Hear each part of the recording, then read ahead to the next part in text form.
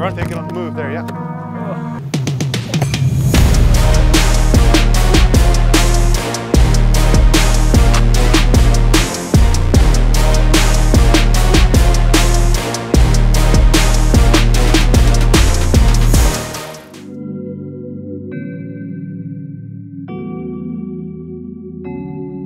We're in the beautiful surrounds of St Vincent's GAA Club here in North Dublin.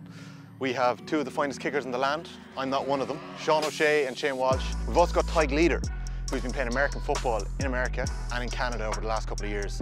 Going to be running the lads through some place kicks for an American football. We'll see how good they are with that as well. Keep an eye out for this. It's going to be good. What are you trying to do with your body? Are you trying to set yourself before you strike the ball? Or are you trying if I'm going to... striking here? Just say, you know, there's an attack on, you're in play, you're you're moving. Mm -hmm. It's easy when, not easy, but you have a structure when you're taking a place kick. When you're taking a shot from play, is there a, a cue you're getting your body in? Are you bouncing a ball before you strike? Um, what are you um, doing to get yourself set? Probably depends on the situation, really, okay. how, much time you have. Uh, I actually don't like having too much time. Really? You know, if you have too much time, you can think about it too much. So just trying to get it and make your decision. If you're kicking, you're kicking, and yeah. just try and back it. Like, and, and go for it. Like. It's probably a, a, great spot for a right footer here. Yes. And they're just coming away, away from the defence a bit and kicking towards. Have you a sweet spot? Nice. Uh, Kieran Whelan used to love right at the D and he bombed yeah, over the bar. You, you wouldn't like to think so, but you probably do if you go if you go back to the shots. But um, yeah, this would probably be a, a, nice area for right foot right, think, just right at the D. Yeah, kind of curled in a bit and okay. So defenders probably coming away. And what are you doing? Are you keeping the head over the ball always? Like I know it's probably instinctive, but is there anything in your head when you're running through the strike? Not really, no. It's probably just natural, you know. Most yeah. of memory gets you there, so yeah. whatever feels right at the time. And obviously we're against the breeze here, so you need to put it that bit more out to the right because it's going to come back into the breeze with a, a right-footed hook, hook kick. So just throw it outside the right post and leave the, leave the wind do the rest, I think. What about the follow-through? Yeah, probably keep the head down, but again, that's a natural thing. You don't really think about it. I'm gonna keep my head down here. But you say it's natural, but it's not. It's, it's practiced. Like yeah, I suppose it is. Yeah, yeah. But I like the You've got obviously the the, in a big game, the temptation's there. To, as soon as you kick, see shit, where's that going? Is it going out of bar or not? Like so. Um, but you just have to trust. Just keep the head down. You, you, it only takes it's a split second to keep the head down, but follow through. But um, you'll see where it goes after. You're under pressure now.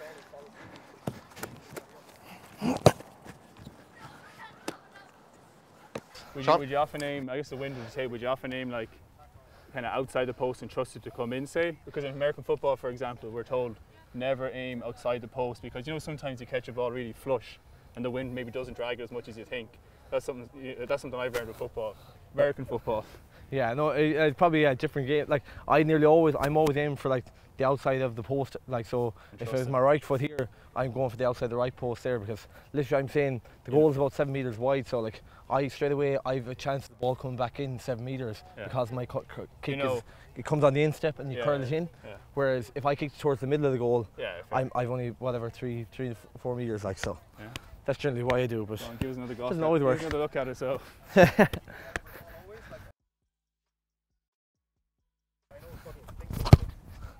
yeah. What's perfect, what I find kind of perfect is though that, like, if you're trying to be narrowed down, especially taking frees, I go like from the middle of the goal to the right post. They're the only ones I count really. And what about like, would there ever be a time when you're on this side where you'd move your body and you hit it with the outside of your boot? Probably not coming from this position. Yeah. Um, if you do that, like especially do you think nowadays. that's for optics? No, it depends on the situation. If you're coming from outside the 45, maybe. But if you're here and you're taking a dummy solo or something, generally the bodies are in the D and they're coming out towards you. So yes. around this area, you probably just have to go and get rid of the ball. If you are dummy, you're probably moving onto your left in, but the outside the right is probably for that bit further out, I think, anyway, or else cutting in from the line. But if you dummy here and you're going off outside the right, the bodies I think are generally coming towards you, so it's probably not on as much. How's your strike off the left? And inside? Yeah, what's it like? Like do you Very similar, I think. Is it the exact same yeah, very similar. Right, like? Um, did you um, work on that? Oh, you have to, yeah, yeah. I mean, like you've been, you're working as much as you can. Obviously, I'd have obviously right legs preferred, but you know, I'd be generally I'd, I'd be comfortable shooting off the left of that. That was the standard in the All Ireland final. You could just see it, but just an ability to move off both sides. Yeah. It's so clear mm -hmm. now in intercounty football. You need it. Like. Especially with, like you saw, the in, inside forwards there in the All Ireland, like David Clifford for us and Killian Spillane coming on, then stroke one off his left, no bother at all, like just, just backing it. And it's probably, it's so natural to them now as well, though. Who's the toughest man to take on in a one -on -one? I'd probably say Lee Keegan uh, would have been when I started off my career, but I feel like I've turned the corner with him. I'm, I'm, I'm holding that That's one. That's interesting. That's yeah, good. Yeah, yeah, yeah. Whereas, um, like in first, you like the Derry Conor uh, McCluskey, like he, I couldn't get over how quick he was. To be honest, I didn't know much about him, and now like you know, if Damo wasn't probably going as well that day, I probably would have went inside and challenged him a different way. But because Damo was there, I actually kind of enjoyed kind of a game inside of my game that people would say is weak. Like Joe, I was, I think I was our highest tackles that day, but like he was actually, I couldn't get over just uh, how he was actually staying, like he was constantly there. What did McCluskey do to you? Like as a defender, like he, he just he, well, he just he just he didn't dive in and he, he just like cause he was quick enough though as well. But see, the big thing for me that happened at the start of the game was in my mind was uh, my first ball I got, I was run up along the line, and next thing I checked back and like I slipped, and there was two lads waiting behind me. So like normally what I would do when I'm going on a run, I'd be weaving Yes. and like kind of asking questions of him, whereas I was kind of saying I'm going to try and outrun you here rather and like. Again, it's hard enough to outrun an inter-county footballer now these days. Even though I know sometimes you will do it, but like there is lads out there that are designed to run with you. Whereas like if I if that was again like Derry's blanket defence kind of helps that because you kind of know that someone. Whereas Joe again, I'd be kind of saying I'd be probably stand them up Yes. and ask them a question then like you know. So when the ball's running down the Hogan stand side early on in the All Ireland final, you pick it up and you've got the two boys. I actually think Seánie O'Shea was close enough to you. He- oh yeah, he was yeah. Like, are you going through your? are- Have you mapped out where you're going with that? You want to bring it a certain like you want to bring it a certain like to get into a scoring zone. Yes. And like for me, it was funny. Like I was saying, like the goals. uh, Like when I look back, it's, I was only Monday evening. I saw the shots again. Like and you're kind of saying if you, if you saw them before a game, you you'd be saying I'm not going to kick those. But like when you're kind of, I knew with the first ball I got. I was on it, like I had a feeling I was going to be uh, like on it on the day, but like you enjoy, you can always say, "Oh, I feel on," it, but if it doesn't happen for you, but I was kind of saying that if I feel on it now, like the next thing all of a sudden the goal seemed wider and everything seemed shorter. And next thing Joe you're, you're just you're saying I'm hot like you know when you're hot I'm Joe I know you know your range like so In the zone, there in to the Clyde, like as in like after a while once I start kicking I know where the posts are so I know exactly what I'm doing. And like if he doesn't come near me I'm kicking the ball over him and kicking over the bar like. Your first point from play, you kind of do you shove your man off a bit and give yourself a bit of room? Yeah, he was he was tugging me the, in the shorts. I think his nickname was Tugs as well. But, Yeah. uh, I kind of just got a, got a little handoff, and John, in fairness, John Daly loves he loves those balls and just give me a nice ball into space. And I think he was waiting for me to take him on because I was going to shift to go inside him, and he kind of waited, so I just shifted back, and it was. So Uh, is- I got ten yards. Of Is that when you knew you were on it? Oh yeah. That that was when you knew you were like on that, it. like as, as soon as I kicked that, I was like, if I can get as much ball here, because like I was saying going into it, I know Tom's a good defender, but I was saying I was fancying that all day, like so. You might talk me through your style of striking here. I, I was just showing you the video of you taking the shot against for Jarlath's against Colman's back in 2011 Hogan Cup final, and it was from a very similar area as the point in the second half, off your right where you a bit of a step here. The exact same kicking technique. Have you? All, is that just always the way you've kicked the ball? Yeah, it's just always the way I kick the. you know, Like, and that's that's the thing, like, 'cause you always go close just before you go kicking, like, 'cause essentially I need this bit of space, so I know if someone's coming up to me, I can kind of run along, and next thing, all of a sudden, I can just make a little bit of contact, and like all I need is two yards. I don't need a big backswing. Mm. So like as soon as I get that, next time I'm saying, I see where the goals are, and Yeah. sure you're lining up the shot, like so. The arm going back is that balance? Is that what is that? Is that just Yeah, used to kicking it like that, or yeah, no, it is. It's bal- like it's balanced. Like, essentially, like, if you're kicking the ball like this, it's kind of it's hard to get your follow through on it. Whereas like when your arm comes up, that's your balance. And I was even saying you can use the defender then because if you're getting close to somebody and can go into goal, you can kind of hold him. Yeah. He's nearly saying you're nearly using him as your balance then, and he can kind of kick off him. Okay. So rather than letting him put you off, because some defenders, some people that wouldn't be as comfortable kicking, they're actually easy enough. You go in and give them a tip, next thing, like no defense, uh, no offense to defenders, but like when you see a defender coming, if you give them a tip, normally they're not used to it, and the kick is, is kind of a rash kick, like you know. But uh, no, not all defenders are like that. Hal. And when did you bring that power into your game, that bit of strength? You didn't always have that, did you? No, it was funny. I like I wasn't even that quick up until tw- uh, 2015 is when I started to notice. I start like the fitness training started getting harder, but the speed work was getting easier. Okay. And but again, it's it's weird because like if I think about running quick, I don't run that fast. Whereas it just like when I get the ball, like uh, like in even our strength and conditioning has been given out because like I run quicker with the ball than I do without the ball. And Okay. they're kind of saying you should be running quicker without the ball than with the ball. So Yeah, yeah, yeah. it's it's a funny one that I don't know I don't know the mindset or what it is, but um, yeah, it just and like from then you're kind of you know, you know you have that tool then and I always say like you can't rely on the one tool all the time. Know, if you become a one trick pony, a lot of defenders will say, "Oh, I'm going to sit off you," and I've seen that as I start to learn football. Like, know, I remember You're Sean- analysing defenders too, like. well, that, know, yeah, because like Sean, like Sean McDermott was the first one that did it to me in 2016. He lit- he was marked, but he literally he got whoever was marking me, David Murray, I think was, got switched off me because he was getting tight and I was just running past him. Yeah. Whereas Sean McDermott was literally saying I was getting the ball out from halfway. He was running, at me. he was nearly saying I'm going over here, so you're gonna you're eventually gonna run up to me here because the Yeah. goal's back here. Like so, Okay. it's it's different like that because I, I always say if a defender comes to meet me, that's happy days for me. Like whereas. Okay. So if they, if they stand off you, I, I always Lee Keegan never did it, and he was always kind of quick enough and strong enough To stay hold you. off. Yeah, Yeah. like, even like the point in the in Pearse Stadium when there was the the during lockdown. During lockdown. Like he he just literally final. put his head down and just stayed with me the whole way. Like and like he made me have to kick a very difficult shot. Like you know, Yeah. where instead of kind of saying I'm going to run in across here, tire, lunge in them, he literally stayed in the game. He stayed in it, like. and like Joe, it just ma- it makes it so much more challenging for you because if you get a defender that kind of commits to trying to stop you, it's a lot easier than to. you know, like when they come in to dive in, it's a lot You can take 'em to on, like. yeah, Yeah. Okay. you know, so. After you.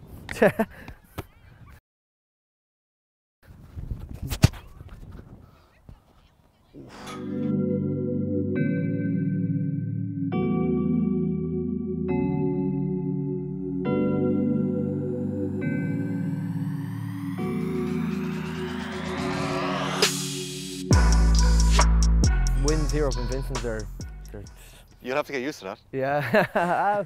Mightn't come this far north side now. You never know. The wind in Croke Park, the wind going into the hill 16 goals, is it is it real? Like, is it, is it, is it really bad there? Like, it always looks like it's strong. Dublin kinda- Kerry, it's- the, the, yeah. Dublin the day you kicked into the goals. It was swirls more than coming at you though. Like I- Yeah. even before the final, I was out and we were throwing up grass and it was going, it was going into the canal in one way and then into the hill. And I think that day it was nearly easier to kick into the hill. Yeah, like we, it he was- had he had great shots in the first half, and even I don't know we missed that much in the second half. But the first half into the canal, we missed an awful lot. All more Ireland shots. final yeah, day. Yeah, It's the higher up though. It's the higher up that goes into the hill. I found like even from Joe Warm, like t- little things like that. But like when it goes high up, the wind does take it more. Okay. Like and you can allow for the curve and you're kicking high. Whereas like Joe, generally speaking, I don't think it has a huge impact on on the game at all. Like and it normally comes down. What I've noticed is it comes down the Hogan and kind of comes in around the canal. Okay. can make the, the canal's always trickier because of the the stand behind it. Yeah. And everyone thinks it's closer than what it is. Do you find it trickier that side? A lot of people I heard say that it's, it's actually easier to shoot into the canal. you, you, t- you take it for granted, you see, and that's what that's the thing. You take it as an easier shot, but then like all of a sudden, then you just you're, you're not you're, you don't go through your kind of yeah. You're, you're like I suppose you're more focused kicking into the hill because everyone says that's the toughest, but and everyone says the canal's easy. And sure, if everyone tells you everything's easy, it's kind of easy to take your eye off the ball. yeah, yeah, definitely, of it definitely feels easier kicking into the canal end, whether it is or not. Is Yeah, that's what I mean, yeah, it- that's it's, like- it's just it seems I think it's- that's it's more the enclosed. I think, and rather than into the hill, it's, it's open and it's definitely a bit swirly down down towards the hill end. I think. Yeah. You were speaking after, um, I think it was after the final, you were speaking, you said that, you know, when you're a young fella, you're dreaming of playing in Croke Park and taking strikes, but when you're in Croke Park, you're actually Yeah. trying to put your mindset into being the back in Kenmare as a kid. Like, it struck me that you have to be very good at pretending when you're a free taker. about that, like when you were young, every kick you take down the pitch, you know, you you pretend that there's a full crowd there and that the pressure's on. Like every every free, you're thinking it's the last kick of the game to win. But when you're in Crow Park, then it's probably a bit different. You probably don't want that. Don't want that pressure. You want to try and, and get away from it and to just take the kick on its own merits rather than what time of the game is it or what part of the game it- it is. Um, so just pretending you're back home in Kenmare like you've done hundreds of times, thousands of times is is probably a nice place to get the head into. And are you legitimately thinking about that? You're not like when you're putting the ball down in the 72nd minute, the dubs have been coming at you for 12 minutes in the All Ireland It's, oh, it's definitely hard. Like you know, you, you try, but Did you block everything out, or what did you do? Like, what was your. Can you remember anything from that minute? Not a whole pile, not a whole pile. Um, the only thing I really remember was Paudie Clifford was beside me, and he was just saying, "Look, don't try and force this. The ball is travelling. Just get a normal strike, and at your distance will get you there. Just get a nice strike, and the rest will take care of it." And that was the only thing I can remember from that. that Paudie said that minute- to 90 seconds. He was just beside me in the air, and I was like, "You're actually right here. Yeah, don't try and force this. Just do, do a normal kick." Now, obviously, it was a bit further out, and I like to curl the ball, so I was saying, just throw it out to the right hand side of the post. The wind's coming into the into the Hogan, so throw it well out and leave leave the wind do the rest, and just try and get a, a good strike. And thankfully, I got a clean contact on it. Tadhg Leader, you might take the lead here now. You're going to talk us through an American football place kick. Yeah. The wind definitely posed a challenge there, so we're going to bring it over here a little bit.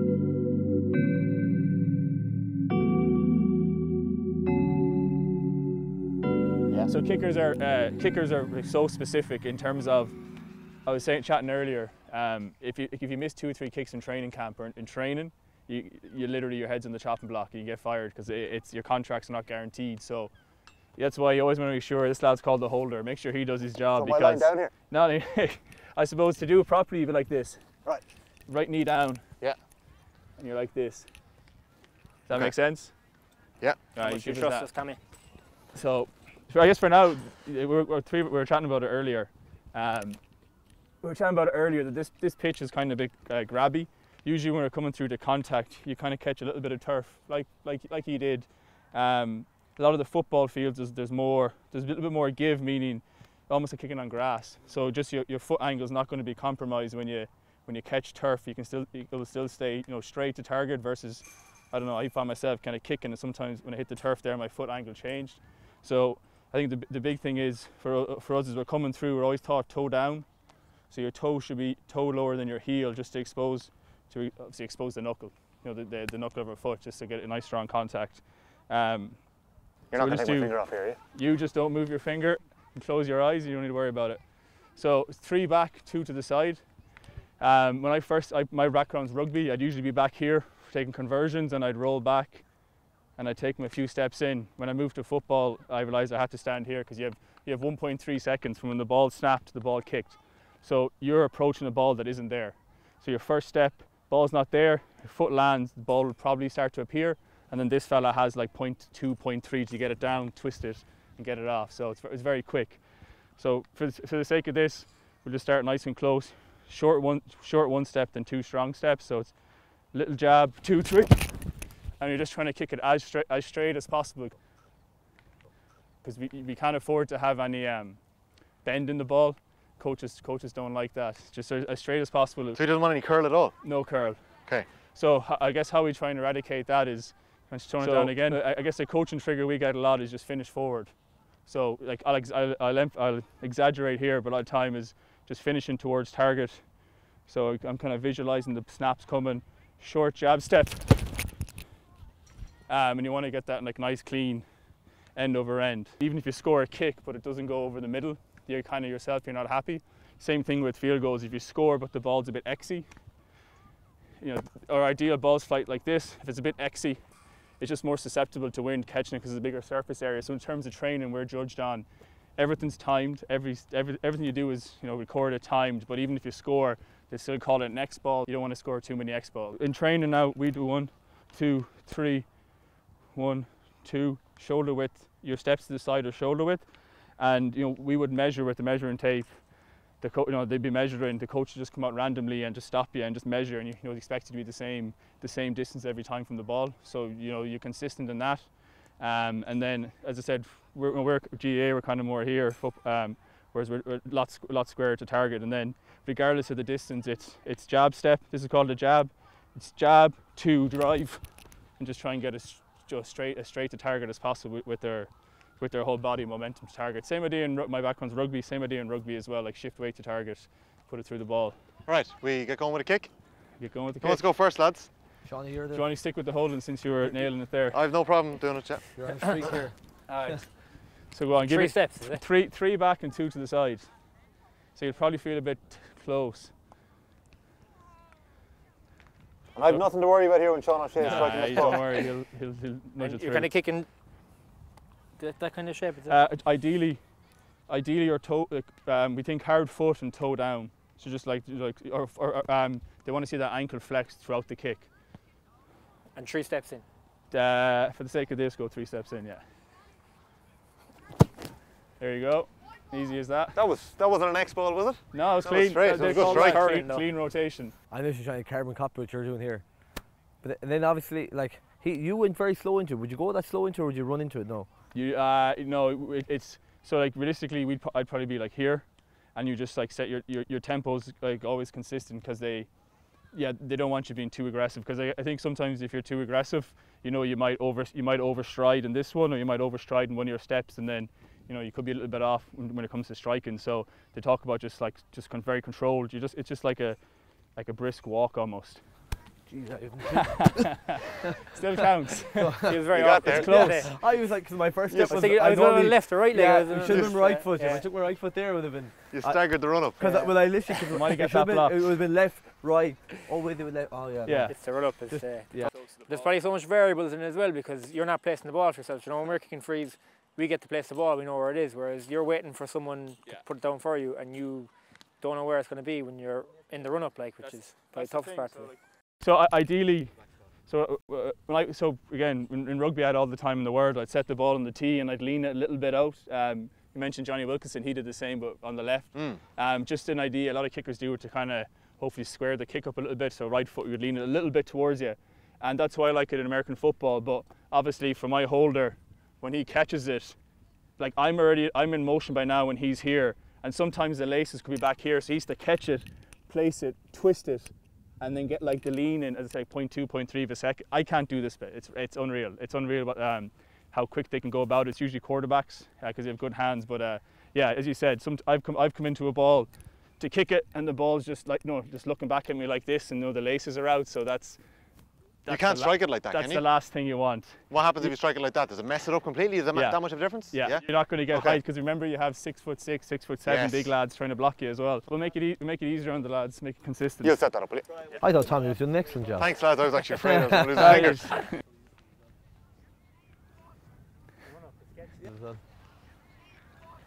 The run up is sketchy. Yeah. Yeah. no, it's like to go. That's how I felt like the Gaelic, Gaelic footballs. I was a mile back. Nice, there you go. That's a strike. That's like a good clean clean ball. How'd you find the strike? Is it weird? The strike hitting is it? okay. It's it's getting into this. Uh, Okay. The walk up, the run It's up. It's weird. Like yeah, you want to just go full belt and try and drive. Yeah, And remember, you only, you only have 1.3 seconds. Is that it? from snap to kick, the Okay. whole thing. Nice, Strike, lads. nice. There you go. Okay. We can make it a bit more realistic if you want. When you're, you're you're approaching a ball that isn't there, you know, until it is there, which is the last second. So a little drill we often do is, you know, we're, you go through your motion, we're blocking the ball, and then obviously last second you just appear. At least you know where the ball's going to be, and it's going to be sitting pretty for you. So It's, Tiger, yeah, it's, it's a mental test, really. biggest big, biggest part of the job. Like you're speaking about training there and like being afraid biggest- to miss kicks. Biggest part of the job. Nice, great. going to come in for you. Oh, That's going Short. to make it. Just short. You're, you're playing tricks on me here now. Playing tricks then, yeah. Uh, but I'll, I'll let you get back and see it and get set before. Alright, it's grand. Won't move. It won't exactly. It won't move. Jeez, the walk up's more likely to punk me than you. what am I doing here again now? Yeah, you, your three step looked good last time. Remember you did nice. Yeah, what, what is it? Oh, I'm probably gone too long there again. Yeah, no, I'm gone too long there. Jeez. There actually is a neck to it, isn't there? Oh, yeah, there is. There definitely is. I'm gonna go. No, I always go this way. Well, I. Chance to redeem yourself, Shane Walsh. It's great to have the time, isn't it? Oh yeah, wait. Here we go. No. Okay. Rate the boys out of 10, Tadhg. Ah, I give them uh, a seven and room to improve. For Okay. hand- I mean, you knocked us is 45. Like, you, you- very very seldom would you kick back this far in the game. Okay. Um, like like we were chatting for you lads, taking kicks from the sideline. Obviously, it's not a high percentage play. Sa- same idea. When you get back beyond like 50 yards, a lot of teams won't, won't kick it because it's, it's just you don't want to lose possession. So no, I think that was handy. I think that was pretty good, pretty good considering it's the first time on the job for both the lads. So Okay. you never know. Could we see them in the, in the NFL once they're, fin- once they're finished with the Gaelic football.